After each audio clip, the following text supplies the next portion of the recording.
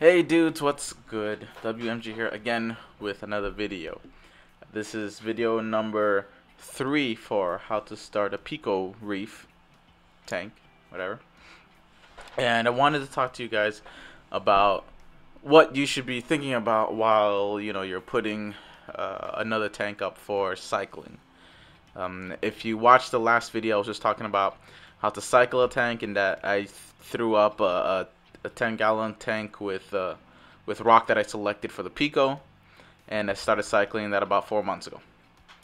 So this time I want to talk to you about a little bit about placement, where I decided to put the tank um, in my room, and just uh, why I decided to put it there.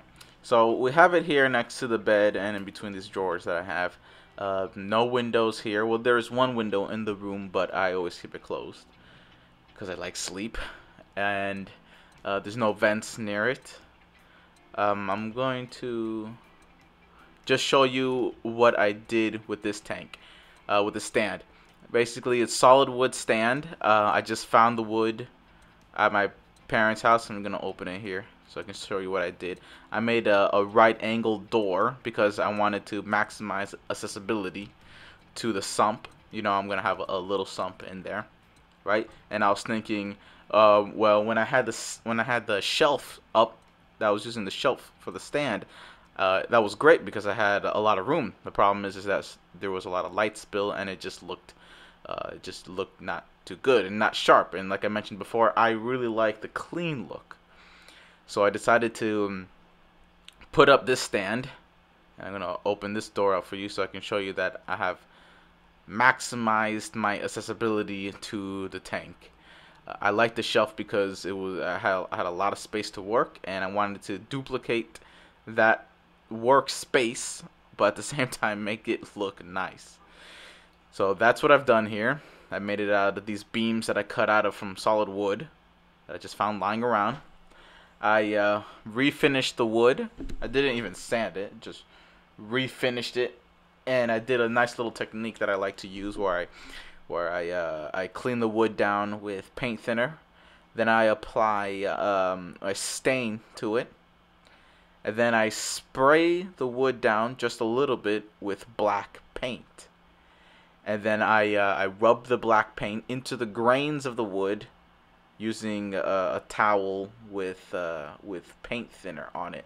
I'm going to show you a couple of pictures now with, uh, with what I was doing during the build. Unfortunately, my other uh, video camera stopped working. So let me, I could only recover the picture, so let me put that up. So here, um, what I basically did is made a square out of 13 inch, uh, one and a half inch, 13 inch by one and a half inch pieces of wood. Um, and here's another picture of it here. And I screwed, uh, put two screws on each side, one and one fourth inch uh, wood screws and I also put some wood glue in it to hold it really tight. And then I basically built a box. I built two little squares and then attached them with uh, with the poles that I made by cutting cutting the solid wood down. So it's very strong because uh, I took I, I used it I made it from the solid wood, and it doesn't look too bad because of you know what I did just to try to make the wood look more kind of like uh, almost like reclaimed wood. Here you can see that I, I made the panels um, and I was starting to put it together.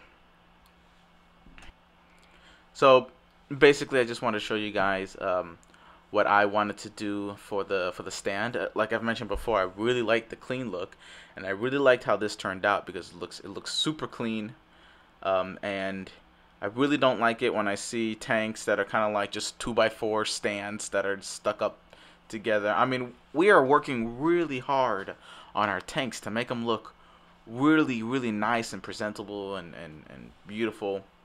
And I just don't like seeing just raw wood, you know, these raw 2x4s uh, standing out. I think if we're putting the time and money into it, we should kind of do it right. And like I've mentioned before, um, I like to do everything, you know, as minimized money spending as possible. And this project only took me $32 to make the stand. And this stand is definitely worth much more than $32. I mean, it's solid wood. Uh, going to Petco, for example, uh, and getting a, a, a what do they call it? Uh, particle board, I think what it is. Yeah, particle board uh, stand. That's like seventy dollars for a ten gallon stand, and it doesn't even have doors on it. And I mean, solid wood. A solid wood stand like this is probably gonna go for like 250 250 dollars and i only spent 32 dollars on it so yeah all i needed was some screws um, my screw gun a few drill bits uh, wood glue and a saw and i think i think that's about it yeah i use a table saw to make the cuts really really nice but uh, you can use a circular saw that's just fine but yeah, I mean, 32 bucks, and I'm super happy with it, and it looks looks fantastic. All right, so this was video number three of how to do how to set up a Pico tank. Thank you so much for watching, guys. Please subscribe uh, if you want to be notified for the next video in the series, and um, please leave uh, leave some comments to tell me what you guys think uh, I should do next or what kind of tank this should be, whether SPS dominated, LPS dominated, uh, fish dominated, or whatever. Um, so thanks again for watching. Please subscribe, and I'll see you guys in the next video.